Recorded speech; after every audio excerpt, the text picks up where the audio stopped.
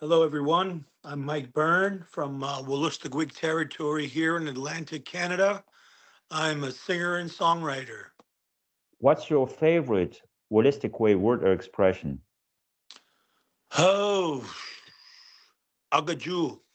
That's what I mean. I mean, my daughter, she just picked that up for me. She's four years old, and I noticed that she's been using it around the house, and I'm I'm kind of I'm kind of proud of that because she's picking it up.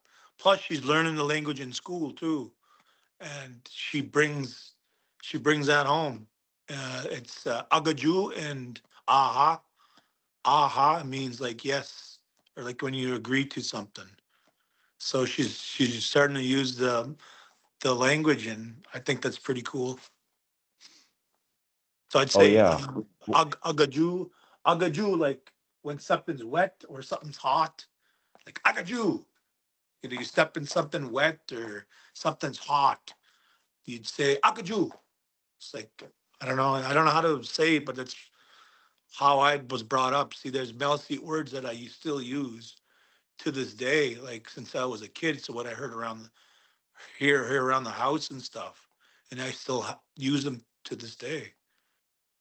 Agaju, I'd say is one I. I just want to say because my daughter's saying it, and I notice I say it around the house, and she's catching on. And the aha, she's like when she agrees with, she don't say yes, she'll say aha. And if you decided to write a song about that, what would the song be about? Uh, maybe canoeing down the river, like and when the water's cold. Agaju. Agaju, pedo. Hey, Agaju.